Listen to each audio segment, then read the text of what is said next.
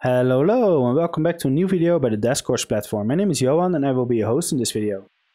Okay, so we're actually gonna start a series, and in this series, we're actually gonna build something new. So as you can see, we have here devscorch.com, and at the moment we actually are at, uh, at one of our courses. So devscorch.com is actually uh, built using WordPress, and yeah, it has been uh, doing well for the last uh, three years. I've been using it since 2020. Before that, uh, was actually running on a custom system that I built myself. And the reason why I went to WordPress was actually because I sold the um, existing system, the whole technology tree behind it, and I actually also sold all the content to a Canadian company. But, you know, I always wanted to keep uh, teaching people how to code. And I was actually hoping to do that with WordPress. The biggest problem is it didn't really work out. So it has like a few flaws. So for example, the course management system itself, so LearnDash, um, it really doesn't work, doesn't work very well. I mean, so for example, it's really hard to adapt all this. Like, I don't want to look at like this. I want to I wanted to do something else. If I wanted to adapt everything, I actually have to rewrite all the CSS. And yeah, it just doesn't work. For me personally, it doesn't work. I really hate it. And and I'm not even talking about integrations because uh, LearnDash has actually like um, it has like support for connecting as a REST API to iOS applications. So I actually implemented that in a test application and the results were horrific. It was really terrible.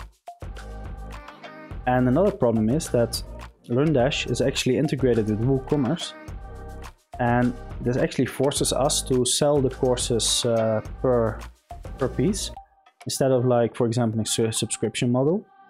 And the biggest problem here is actually that we have to pay for the subscription system. It's like $200 a year. And me personally, if you think about it, as a developer, that's a lot of money. I can build it myself, you know, I can build something like that myself.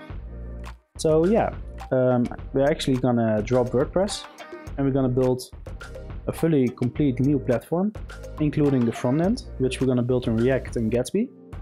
And that's actually going to be really funny because we're going to record it as well. And I really never worked with React before, so that's actually going to be really cool.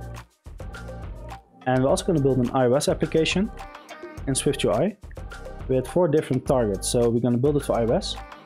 We're going to give the custom UI for iPadOS, for macOS, and also for tvOS. So the coolest thing is, if you're ever sitting on your couch and you want to learn iOS development, you can actually do that from your couch. It's actually really cool. And we're actually going to use something that is called Vapor. So Vapor is a server-side Swift uh, framework for Ubuntu and for Linux servers. And the coolest thing with it, you can actually build REST APIs. So instead of uh, learning Node.js or using uh, PHP or Ruby on Rails or even Python, you can actually do that, do all that in Swift. And that's actually going to be really interesting and really cool. And in this series, this I think is going to be 30-35 videos, I'm going to teach you how to work with Vapor, how to build your own API, while building the API for Devscorch Academy. And some of people on Twitter call this uh, public, they call this uh, build in public. And yeah, that's what I'm going to do. So we're going to build a complete platform on, uh, on YouTube. And that's actually going to be really cool. I'm going to explain everything to you and why and, uh, and why I made uh, certain decisions and how we do it. So the biggest reason why uh, we're actually going to change everything around again is I've been thinking about the way how we can actually give make Devscorch like more known to the public and actually make it more interesting for people.